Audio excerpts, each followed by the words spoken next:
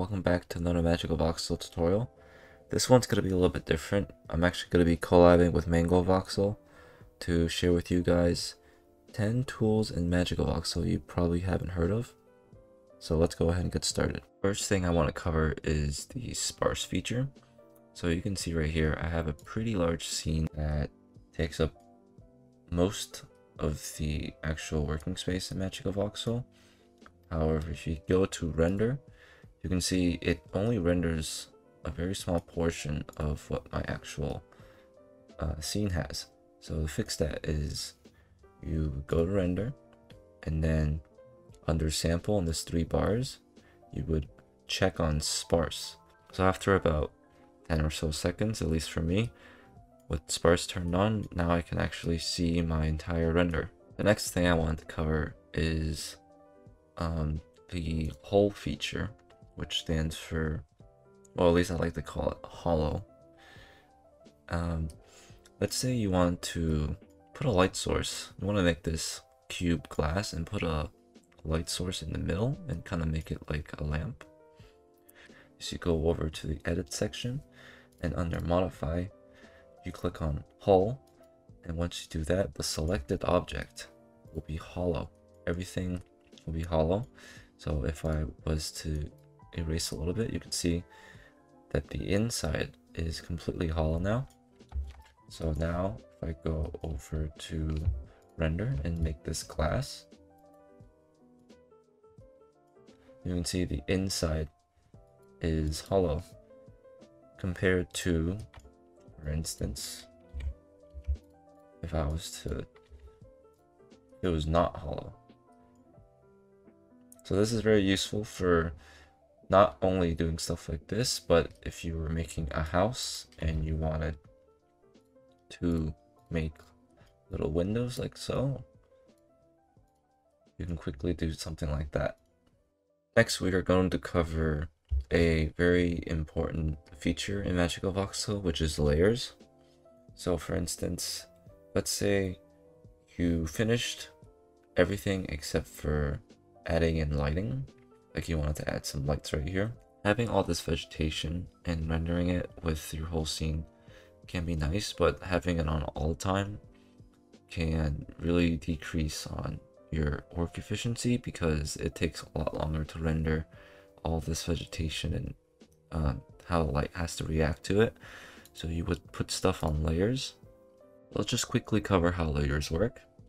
This scene is put all on layer 0 uh, I'm gonna put this actual uh, the walls and the floor on a separate layer. All you have to do is first go from your object view to your world view, which you would know based on um, seeing this kind of like coordinate system that selected the object. What you do is just select the object you want to put on a separate layer.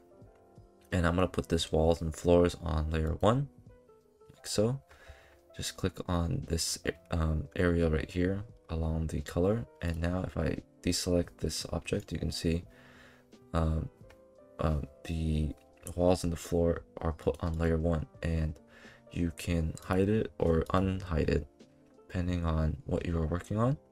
So you can unhide it now. And I'm going to put all this office, office material on layer 2 so staying in the world view just left click and drag your mouse over the objects you want to put on the layer.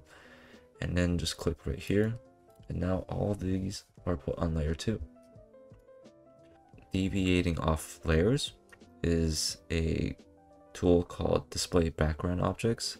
This is turned on by default but i'm going to show you what you do if you uh, turn it off. So let's say for instance you wanted to work on this table right here. And you wanted to i don't know decorate it some more, you can. It's kind of hard to decorate it right now because it's cluttered around these cabinets and in this uh, office space.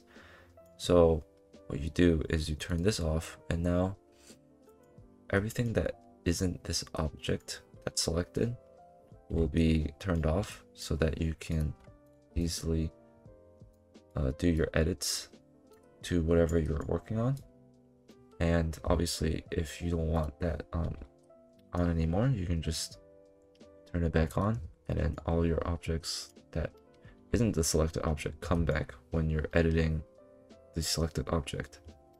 Lastly, there is a quick way to duplicate objects which involve using the world view. So right now I'm in object view. To enter world view, you can either press this arrow right here or tab. And what you do is you literally just hold down shift and left click drag any of these arrows or these uh, angled lines.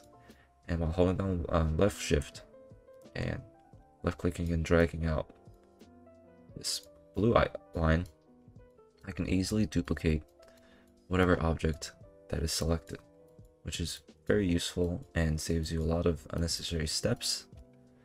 So now with my five tools done, I'm going to go ahead and shift the attention over to Mango Voxel, who's going to explain to you guys the other five tools. The multi-select tool is very helpful. Upon selecting multiple colors in your palette, Right-clicking on them reveals a pop-up menu with a couple of options. I'll be focusing on the rand function. The random function works like this. It totals up the selected voxels, then divides that amount by the number of colors in your palette that you have selected and disperses the colors evenly.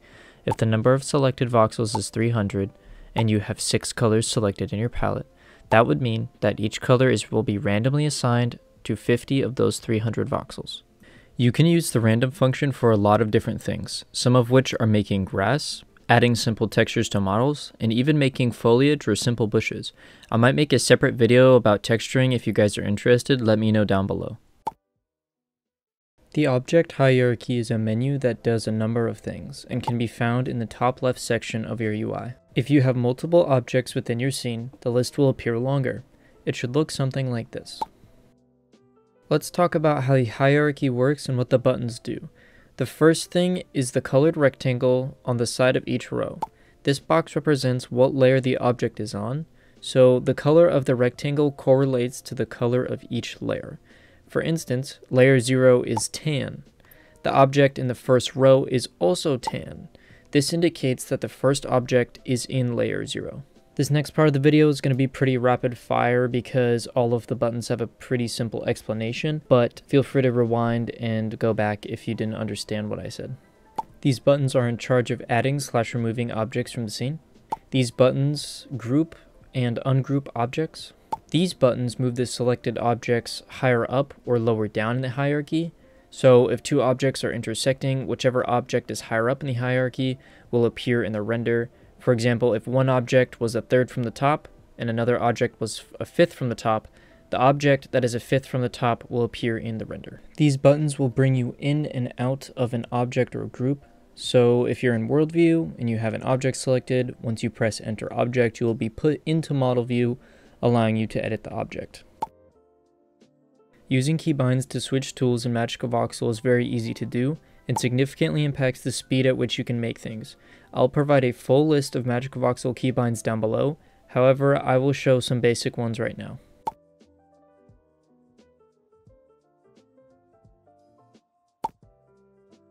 The position tool can be found on the right hand side of your UI in the world view. The position tool allows for the user to type in accurate values for the object's position in the world. This tool is especially helpful for centering an object at world origin. The erosion tool will remove one layer of voxels from the ones you have selected. For example, it would shrink a cube that is 40 voxels cubed to 38 voxels cubed. The dilation tool is the exact but opposite to the erosion tool. Instead of removing one layer of voxels, it adds an additional layer to the ones you have selected. For example, it would enlarge a cube that is 40 voxels cubed to 42 voxels cubed. Thank you so much for watching our video and thank you to ArtChanny for letting me collaborate with him. If you made it this far, please leave a like and don't forget to comment what other tutorials you would like to see. As always, thank you so much and have a great day.